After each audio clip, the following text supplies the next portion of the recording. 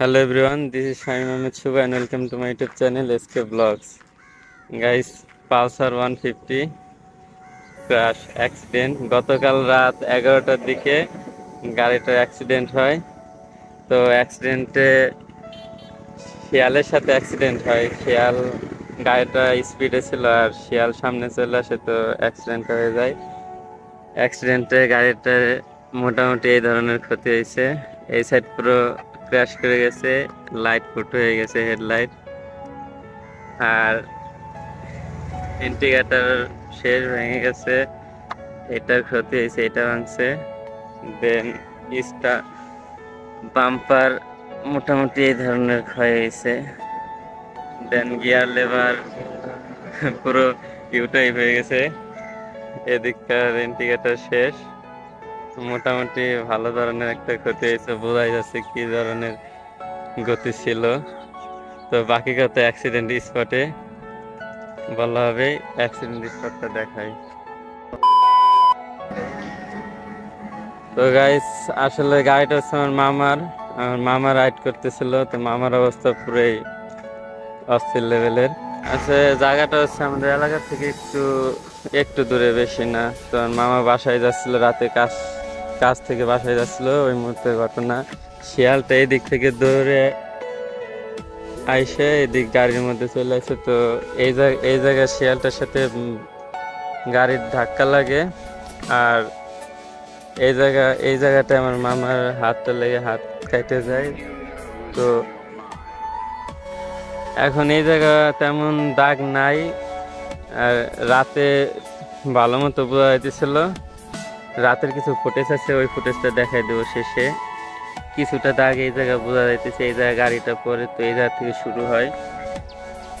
তো গাড়িটা এই জায়গা থেকে স্লাইড শুরু হয়, আর ওই যে একটা ছেলে দাঁড়ায় আছে, ওই জায়গা পর্যন্ত গাড়িটা যায়। এখান থেকে এখান থেকে শুরু করে ওই পর্যন্ত। আসলে আসলে ব্যাপারটা ধারণা করা যাইতেছে যে গাড়ির গতিটা কেমন হতে পারে। এই জায়গা থেকে, এই জায়গা থেকে শুরু করে ওই ছেলের ওই পর্যন্ত গেছে, ওকেও মনে হয় ভালো মতো দেখা যাইতেছে না।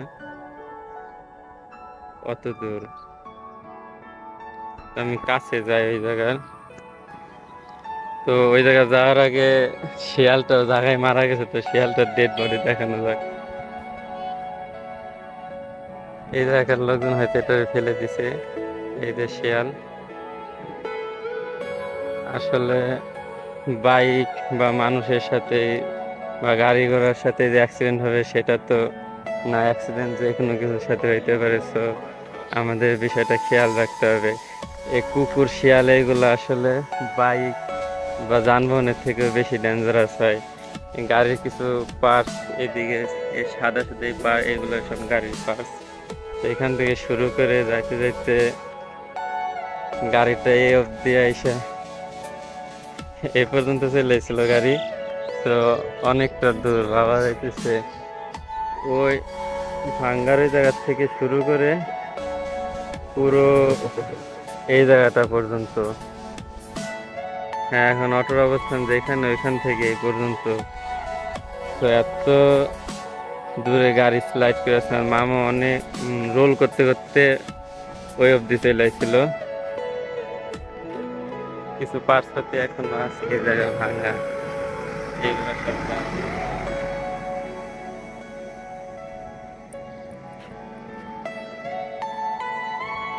আমরা যারাই বাইক রাইড করি না কেন, আসলে আমাদের বাইক রাইড এগুলা স্পিড কন্ট্রোলের মধ্যে রেখে স্পিডিং করা উচিত। আসলে কপাল ভালো ছিল, তাই বেঁচে গেছে। তো ওইখান থেকে এত দূর গাড়ি আসা আসলে কল্পনার বাইরে। এইখান থেকে এত দূর থেকে গাড়ি ওই পর্যন্ত অত দূর যাওয়া স্লাইড করে পুরো রাতের ভিডিওটাই পুরো দাগ, এদিক দিয়ে দুইটা দাগ ওই পর্যন্ত চলে এসে ওইটা পুরো রাতের ক্লিপটা আমি ভিডিও শেষের দিকে দিয়ে দিব। আমরা অবশ্য অবশ্যই বাইক রাইড স্পিডের মধ্যে রেখে করব। ওভার স্পিডিং করব না ওভার স্পিডিং স্বাস্থ্যের জন্য ঝুঁকিপূর্ণ। এই জায়গা থেকে এর আগেও আরও চার পাঁচটা এই ধরনের অ্যাক্সিডেন্ট কেস হয়েছে এটা হয়তো ছয় নম্বর কেস এ হচ্ছে গাড়ি, গাড়ির অবস্থা, গাড়ির এ- এই- এইটাও ঢিল ভেঙে গেছে হয়তো নিচে থেকে। মোটামুটি এক ধরনের ভালো একটা খরচ হয়েছে হবে আর কি। তো আমরা সবাই ভালো মতো বাইক রাইড করব, দেখে শুনে কন্ট্রোলের মধ্যে রেখে ওভার স্পিডিং করব না। So still them stay safe stay ride no more today